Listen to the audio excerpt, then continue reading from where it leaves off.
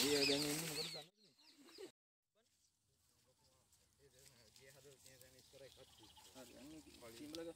දැන් මීට වසර 2000කට වැඩි ඉතිහාසයක් වාගෙන අපි මේ ස්ථානයට ඇවිල්ලා තියෙන්නේ. මේ ප්‍රදේශය නමින් කිතුල් කොටේ නම් ප්‍රදේශය විශේෂයෙන් තනමල්ලිල නගරයට ආසන්න නමුත් වැල්ලවාය ප්‍රාදේශීය ලේකම් කොට්ටාශයට අයිති කිතුල් කොටේ ග්‍රාමයට තමයි අපි ආවේ.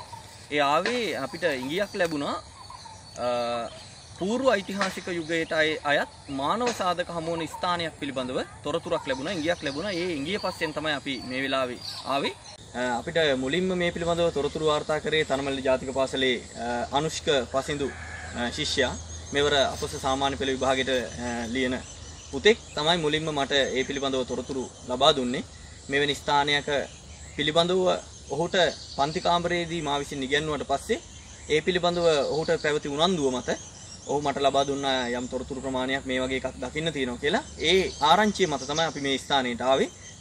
ඒකදී අපි හඳුනාගත්තා මේ ස්ථානයේ పూర్ව ඓතිහාසික යුගයේ එමත් නැත්නම් ගල් යුගයේ නියෝජනය කරන මෙගලිතික වර්ගයට සුසාන සංකීර්ණයක්. මේ ස්ථානය කෘෂිකාර්මික බිමක් නිසා බොහෝ දුරට විනාශ වෙලා තියෙන්නේ. ඒ දත්ත බොහොමයක් මේ වෙනකොට විනාශ වෙලා තියෙනවා. කොහොම නමුත් අපිට පැහැදිලි සාක්ෂි ගණනාවක් අනාවරණය කරගන්න පුළුවන් වුණා මේ ස්ථානයට ආවට පස්සේ. යකඩ යුගයේ මිනිසුන් වාසය කරපු කියන්නේ ගල් යුගයෙන් පස්සේ ප්‍රාග් ඓතිහාසික යුගයෙන් පස්සේ එළඹුණු పూర్ව ඓතිහාසික යුගයේ යකඩ යුගයේ මිනිසුන් භාවිතයට ගත්ත තමන්ගේ මියගිය ඥාතීන් මිහිදන් කිරීමට සකස් කරන ලද සුසාන සංකීර්ණය. අපිට මෙවැනි ස්ථාන ලංකාවේ බොහෝ ස්ථානවලින් හම්බ වෙනවා. විශේෂයෙන්ම ඉතාමත් ප්‍රචලිතම ස්ථානයක් තමයි දඹුල්ලේ ඉබ්බන් කටුව මෙගලිතික සුසාන සංකීර්ණය. ඒ වගේමයි යාපහුව ගල් සොහොන් කනත්ත මෙගලිතික සුසාන සංකීර්ණය. ඒ වගේමයි යටිගල් පොත්ත මෙගලිතික සුසාන සංකීර්ණය. ඒ වගේම අපිට යාන්ඔය නිම්නය ආශ්‍රිතව හම්බ වෙනවා මෙගලිතික සුසාන සංකීර්ණ ගණනාව. ඒ වගේ අපිට ලංකාවේ රජරට ප්‍රදේශයට ආසන්න නෑකම් කියන ප්‍රදේශවලින් අපිට බොහොමයක් හම්බ වෙනවා. නමුත් මොණරාගල දිස්ත්‍රික්කයේ නියෝජනය කරමින් හමු වන අපිට දැනට වාර්තා වන ප්‍රථම මෙගලිතික සුසාන සංකීර්ණය තමයි මේ ස්ථානයේ. මේ ස්ථානයේ මූලික ගවේෂණ කටයුතු තමයි අපි අද දවසේ සිද්ධ කරන්නේ. ඒකෙදී විශේෂයෙන්ම මේ ප්‍රදේශයේ තියෙන අධික ඝන කැලෑව නිසා බොහෝ දත්යන් අපිට හඳුනා ගැනීමට අපහසු තත්ත්වයක් තියෙනවා. ඊළඟ කාරණේ තමයි මේ ප්‍රදේශයේ කෘෂිකාර්මික බිමක්. ඒක නිසා මානව ක්‍රියාකාරකම් විශාල වශයෙන් සිද්ධ වෙලා තියෙන නිසා මේකේ තියෙන දත්ත බොහොමයක් විනාශ වෙලා තියෙනවා. ඒකට කදිම නිදසුනක් තමයි මේ අපි මම දැන් රැඳී සිටින ස්ථානය. මේ රැඳී සිටින ස්ථානය අපිට පේනවා මේ මිනිසුන්ගේ නොදැනුවත්කම නිසා යම් කැනීමකට එහෙම නැත්නම් අනවසර හැරීමකට යම් කිසි පරීක්ෂා කිරීමට ලක් වූ බවක් අපිට පේනවා. මේ ස්ථානයේ අපිට පියන්ගල දෙකට කැඩිලා මේ අපි දන්නවා මේ සොහොනේ ප්‍රධාන වශයෙන් ගල්පතුරු හතරක් සිටුවලා උඩින් ගල් පියනක් යොදලා තමයි මේ සොහොන මූලික වශයෙන් සකස් වෙන්නේ. ඒකෙදි මේ ප්‍රධාන ගල් පියන දෙකට වෙච්ච බවක් අපිට පේනවා කෑලි දෙකකට කඩලා කොහොම හරි යම් පරීක්ෂා කිරීමක් මෙතන සිද්ධ කරලා තියෙනවා. අපි දන්නේ කවුරුන් විසින් ඒක සිද්ධ කරාද කියලා.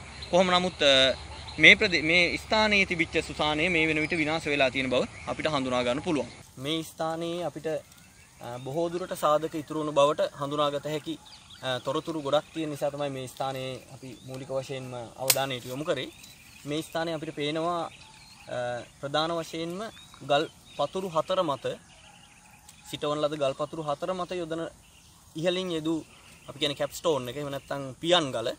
එතකොට මේ පියන් ගල ආරක්ෂා වෙලා තියෙනවා ඒ ස්ථානයේම ආරක්ෂා වෙලා තියෙනවා මේ අපි දැන් මේ ඉන්න ස්ථානයේ මෙවැනි සොහොන් 10කට වැඩි සංඛ්‍යාවක් මේ වෙලාවේ අපේ ගවේෂණයට හමු වුණා. මේ ස්ථානයේ අපිට හඳුනාගත හැකි මූලික සාක්ෂි අනුව පැහැදිලි වෙනවා పూర్ව ඓතිහාසික යුගය නියෝජනය කරපු ජනාවාස සංකීර්ණයක මූලික තොරතුරු මෙතනින් හඳුනා ගන්න පුළුවන් කියලා. විශේෂයෙන් පූර්ව ඓතිහාසිකගේ මිනිසුන් තමන්ගේ ඥාතීන් මියගිය ඥාතීන්ට කෘතගුණ සැලකීම සඳහා මියගිය ඥාතීන් මිහිදන් කිරීම. විශේෂයෙන් ඔවුන් කරේ ආදාහන කටයුත්තක්. ආදාහනය කරලා ඒ බස්ම අවශේෂ මුට්ටිවල තැන්පත් කරලා ඒ මුට්ටි තමයි මේ සුසානවල තැන්පත් කරලා ඒ සුසාන නිර්මාණය කරේ. විශේෂයෙන් පූර්ව ඓතිහාසිකෝගේ සමාජ ආර්ථික දේශපාලනික තොරතුරු ගණනාවක් හඳුනා ගන්න පුළුවන් ස්ථානයක් විදිහට අපිට මේ ස්ථානය හඳුනා ගන්න පුළුවන්. හේට හේතුව තමයි විශේෂයෙන් ලංකාවෙන් හමුවන පූර්ව ඓතිහාසිකුගේ ස්ථාන ඉතාමත් අතලොස්සක් තමයි මේ වෙනුවට හම් වෙලා තියෙන්නේ. විශේෂයෙන් මොණරාගල වැනි ප්‍රදේශයක මොණරාගල දිස්ත්‍රික්කයේ වැනි ප්‍රදේශයක එවැනි ස්ථාන හමු වෙලා තියෙන ඉතාමත් අල්ප වශයෙන්. ඒක නිසා මොණරාගල දිස්ත්‍රික්කයේ හමුවන විශාල ප්‍රමාණයේ සුසාන සංකීර්ණයක් විදිහට මේක අපිට හඳුනා ගන්න පුළුවන්. දැන් අපි මේ ඉන්න ස්ථානය ගත්තාම තවත් සුසාන දෙකක සාධක අපිට දකින්න හම්බ වෙන එකම ආසන්නයේ මෙම ස්ථානයක සාධකයකුත් තව ඊට මීටර් 5ක් විතර දුරින් මීටර් 3ක් පමණ දුරින් තවත් සොහනක සාධකයකුත් අපිට දකින්න හම්බ වෙනවා. මේ සියලුම සුසාන අපිට දකින්න හම්බෙන්නේ බැලූ බැලමට මෙගලිතික වර්ගයේ සුසාන එහෙම නැත්නම් ශිලා මංජුසා වර්ගයේ සුසාන. එතකොට මේ දැන් මේ පරිශ්‍රය තුල අපි අක්කරයක පමණ ප්‍රදේශයක් ආවරණය කරා අද දවසේ ඒ ආවරණය කරපු අක්කරයක පමණ ප්‍රදේශයේ පුරාවටම අපිට දකින්න ලැබුණා මෙගලිතික වර්ගයේ සුසාන 10කට වැඩි ප්‍රමාණයක්.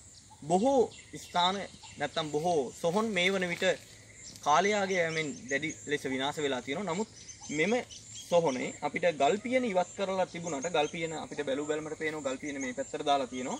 හැබැයි මේ සුසානේ හතරස් පිහිටීම ඒ ආකාරයෙන්ම වාස්තු විද්‍යාත්මක පිහිටීම ඒ ආකාරයෙන්ම අපිට දකින්න හම්බ වෙනවා. ඒ නිසා බොහෝ දුරට පූර්ව ඓතිහාසිකගේ සාධක විශාල ප්‍රමාණයක් හඳුනාගත හැකි ස්ථානයක් විදිහට මේ ස්ථානය හඳුන්වා ගන්න පුළුවන් අපිට. විශේෂයෙන්ම ඉදිරි පරේක්ෂණයකදී මේ පිළිබඳව නිවැරදි පරීක්ෂණයක් සිද්ධ කරොත් විශේෂයෙන් හඳුනා ගන්න පුළුවන් ඒ ලංකාවේ යකඩ යුගයේ මානවීන්ගේ මානව ක්‍රියාකාරකම් පිළිබඳ බොහෝ තොරතුරු හඳුනා ගන්න පුළුවන් වෙයි කියලා මම විශ්වාස කරනවා.